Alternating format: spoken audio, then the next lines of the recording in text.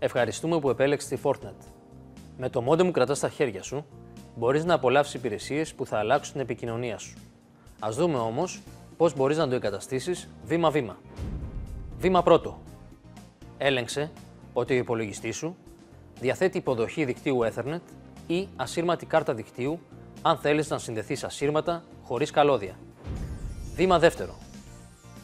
Για να συνδεθείς ενσύρματα, εκτός από το modem router, θα χρειαστείς το καλώδιο ρεύματος, το καλώδιο τηλεφώνου, το splitter και το καλώδιο δικτύου. Βήμα τρίτο. Βρες το ιδανικό σημείο για το modem σου. Για την καλύτερη κάλυψη του χώρου, ένα ψηλό ράφι είναι ό,τι πρέπει. Δίπλα του θα πρέπει να υπάρχει μπρίζα τηλεφώνου, κατά προτίμηση τύπου RJ11 και όχι διακλαδωτή, και μία μπρίζα ρεύματος. Βήμα τέταρτο. Όλα είναι έτοιμα για να συνδέσεις το modem router σου.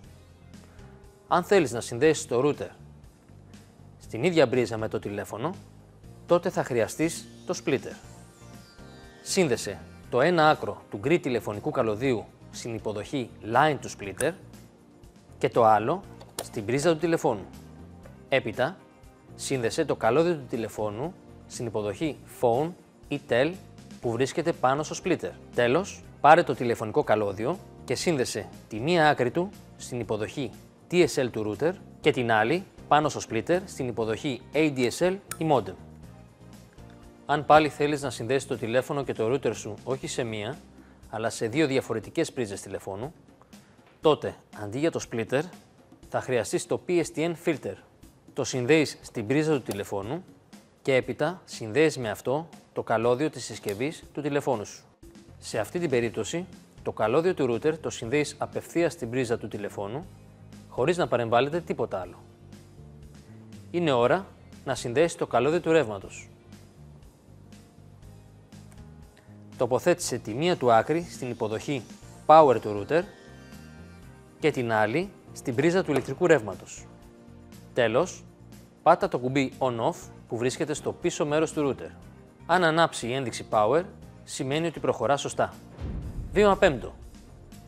Σύνδεσε τον υπολογιστή με το router. Πάρε το άσπρο καλώδιο. Είναι το καλώδιο δικτύου. Σύνδεσε τη μία του άκρη σε μία από τις κίτρινες υποδοχές LAN που βρίσκονται πίσω στο router και την άλλη στην υποδοχή δικτύου Ethernet του υπολογιστή σου. Βήμα 6. Έλεγξε τη λειτουργία του modem router σου. Αν έχεις κάνει όλα τα βήματα σωστά, το λαμπάκι Power θα πρέπει να είναι σταθερά πράσινο. Το ίδιο και το λαμπάκι Broadband. Ενώ το λαμπάκι Internet μπορεί να είναι συνεχώς πράσινο ή να αναβοσβήνει ανατακτά χρονικά διαστήματα. Όλα είναι έτοιμα για να απολαύσεις τις υπηρεσίες επικοινωνίας της Fortnite μέσω ενσύρματης σύνδεσης. Βήμα 7.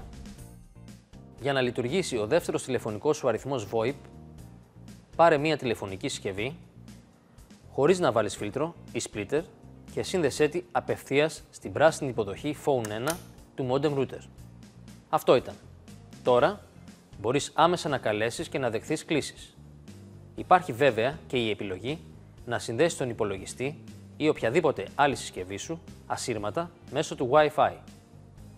Ανείχνευσε τα ασύρματα δίκτυα μέσω της συσκευής που θέλεις να συνδεθείς.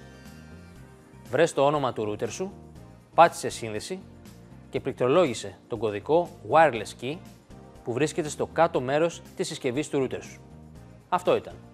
Τώρα μπορείς να ανοίξεις ένα πρόγραμμα περιήγης στο ίντερνετ πληκτρολογώντας www.fortnet.gr